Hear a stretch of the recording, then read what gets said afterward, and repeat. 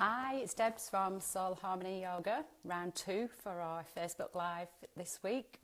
So, I'm going to be answering two questions I get asked all the time. Um, and the second question I get asked a lot is um, how can I, how do I know if I'm practicing safely, particularly if you're a beginner to yoga and you know, we're used to the concept of having a teacher face to face. So, really, more of a concern is how do people know that they're going to be safe when they're practicing online yoga if they haven't got a teacher to point out, um, you know, what they might be doing wrong with alignments and things like that. So, the first thing I would say to you is we do have a safety briefing on our website that I get everybody to read before you start the classes.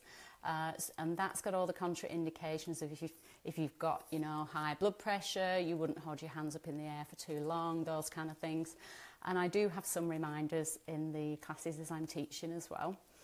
Um, it's really important that when you're practicing, and this was the same in my face to face teaching, that you tune into your body and how your body feels because you're the person that is going to know if something feels right for you or if it doesn't. And over time, as you're practicing yoga, I constantly invite you to trust in your body, trust what you're feeling, and know if, you know, today your practice is gentle. Sometimes I just do a relaxation because I know that a physical yoga practice isn't what I need, and that's absolutely fine. You don't always have to be doing a full physical yoga practice to practice yoga. Sometimes it's just as simple as being mindful of how you're feeling um, on a day to day basis.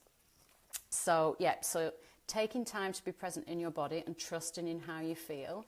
If there are particular um, issues that you're working with at the moment, there might be a particular spinal injury, then I would always advise you to get advice from the health practitioner that you're working with. Tell them you want to do some yoga classes, and they will tell you what things will be um, supportive to help your body to heal and also things to avoid. So, for example, with if you're struggling with sciatica, then you wouldn't go into a forward bend. It's an absolute no-no. So things like that that you can get tips from your health practitioner so that when you see them on the video you go, ah, for me right now, that's not going to be a good thing. And again, I do mention them as um, I go through the classes. Okay, what else have we got? So on the actual videos, and I do this in my face to face teaching as well, I will, if there's a sequence that we're going to be doing, I will always demonstrate it first. And obviously, when you're watching on the videos, a lot of my students say that they love it because they can play it back as well. So you would, oh, I'm not quite sure about this, watch it first and then go through it afterwards. Um, and if you're not sure of something, you can just play it back and watch it again so that Whereas in a face to face yoga class, sometimes you can miss something and you just have to catch up. So that's one of the things that I like about online yoga is that I can actually do it at my pace. Um, and if I need to pause to go to the loo or whatever, then I can and I can just continue the class without missing anything. Okay, so yeah, you would see the demonstration, follow instructions after the demonstration, and I will always give you key alignment points. So these are points that you, places that you put your feet, um, that you would hold your arms, that you hold your shoulders back, chest is lifted, just key points so that you can start to feel into the postures.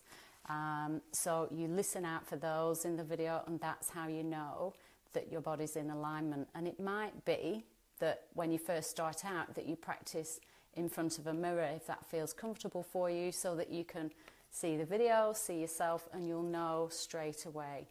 So, usually, it, you will feel as you go through. Initially, there's lots to think about in a yoga class, um, but once you've done quite a few classes, you know, three, four, five, six classes, you start to go a little bit deeper into your practice and you're noticing things that you didn't notice at first because there was all those other things to think about with your breath and where my arms, where my legs and that kind of thing. So that's really important too, to listen to the um, alignment points.